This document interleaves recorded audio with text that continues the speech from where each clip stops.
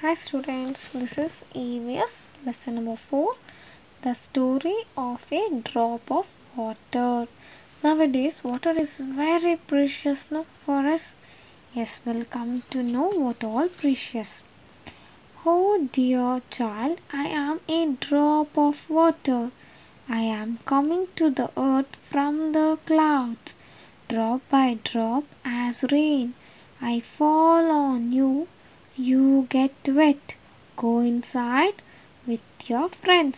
See this drop, one drop, raindrop is talking here. Oh dear child, I'm coming from top. No, you will get wet to the earth from the clouds, drop by drop as rain. So, what is this? Rain. What drop we are getting? From where we are getting? From clouds. Okay. Oh dear, drop of water. I love to get wet. Where are you going, my friends?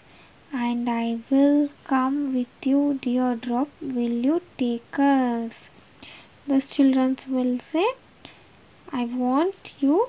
Let me play like that. Okay. Next, I flow to different places. It may be difficult for you to come with me. I flow to different places where if see if rain started where all it will fall all over we are on trees on the trees on the house everywhere no difficult for you to come with me we can't go with the water i mean raindrop no children are saying see this arrow mark shows the children are talking. Here the arrow mark is showing raindrop is talking. No we would like to come with you. They are like to go it seems. Again the raindrop is talking. All right. Look at the picture to know the places that i flow through. After i fall on the earth okay it is saying after i fall earth what happens. Oh we are ready. They are ready it seems. Even you people are ready. Yes again raindrop is saying children look at the picture and write their names in the space provided.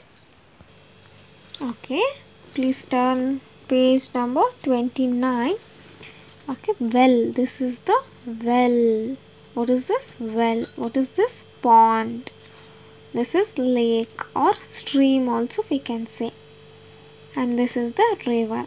Here all the rain has fallen. The those are called source.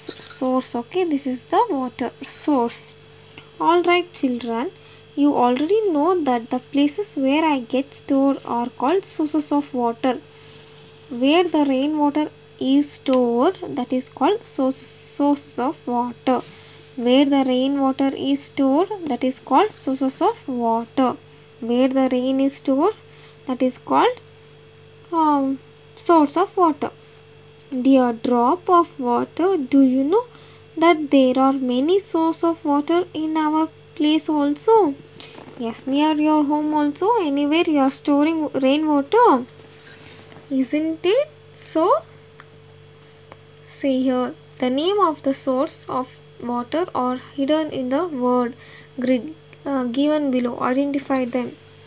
See here you have to identify river pond rain stream rivulet well sea hand pump 1 2 3 4 5 6 7 8 8 sources we have. 8 types of sources we have okay?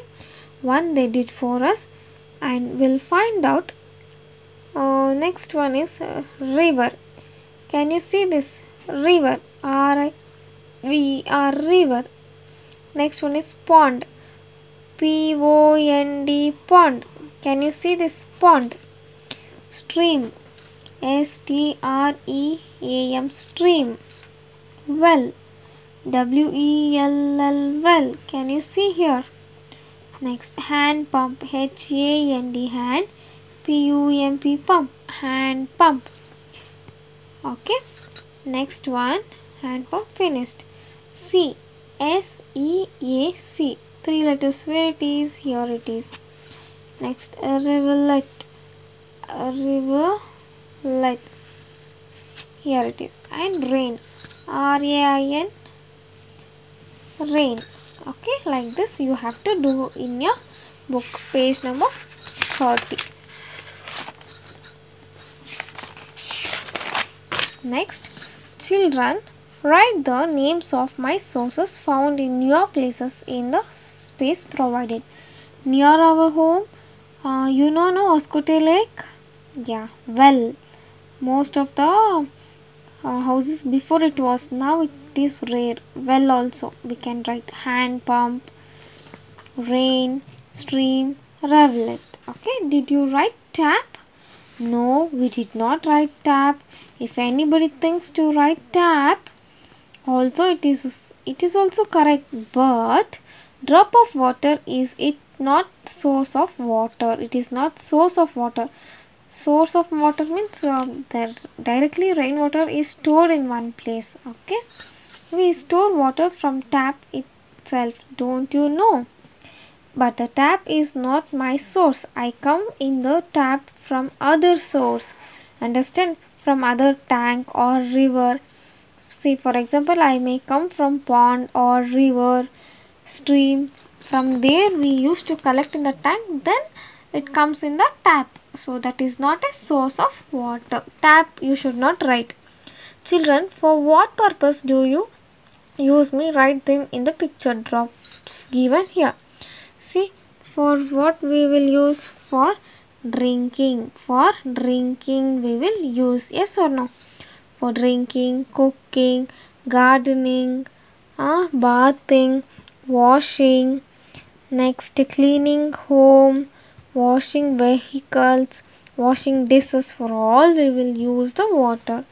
And all right now tell me where do you bring me from to your house right here. From where we will get the water? We get the water from lake well hand pump pond. Understood? We'll see in the next class. Another pages